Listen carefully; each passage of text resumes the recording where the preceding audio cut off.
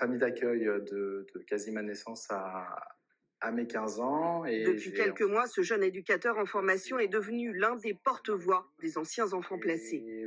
Face à lui ce jour-là, plusieurs membres du gouvernement, des élus des conseils généraux, des éducateurs, auprès de qui il va plaider la cause des jeunes de l'aide sociale. C'est incroyable quand même de se dire, voilà, on, on est au gouvernement, on travaille euh, pour euh, ce qu'on a été avant. C'est, euh, en vrai, c'est impressionnant. c'est impressionnant. C'était imaginable ça, Non, il y a 7 ans, pas du quand tout. vous avez rencontré la première fois. Pas du tout. Il y a sept ans, je pensais à, à demain. Aujourd'hui, euh, je pense à après-demain. Il y a sept ans, quand nous l'avions rencontré, Akan venait d'avoir 19 ans. L'aide sociale à l'enfance avait arrêté de le prendre en charge. Sans soutien familial, il menait ses études en fac de sport sous pression.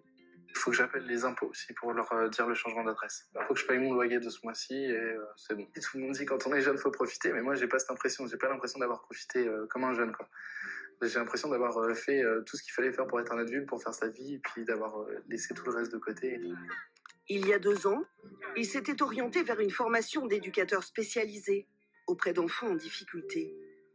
Des expériences précieuses qui lui permettent aujourd'hui de réfléchir, de se mobiliser avec d'autres jeunes adultes placés eux aussi.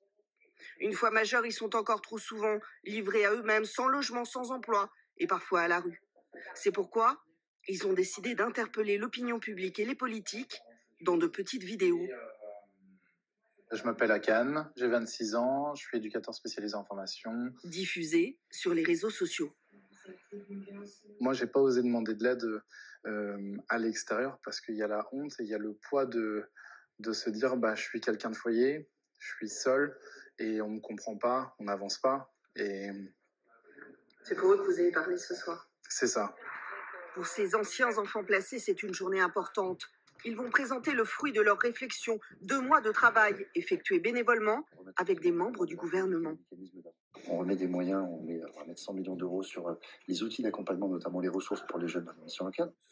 Leur objectif est d'éviter que les jeunes se retrouvent à 18 ans sans solution, ce qui a été le cas pour Akan Marty, qui à sa majorité a vu ses espoirs s'envoler.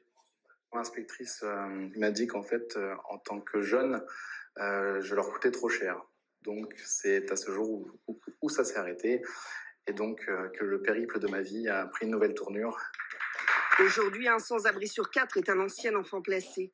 Si son avenir reste toujours incertain, Akan Marty, qui finit ses études, a désormais la force de l'affronter et fait même des projets. Même si j'ai pas eu de modèle dans ma vie, euh, ça va être quelque chose où on pourra dire je suis fils de personne, mais je suis père de quelqu'un. Et ça, ça change beaucoup de choses.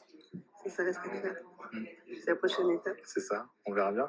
la prochaine étape, c'est le diplôme. hein.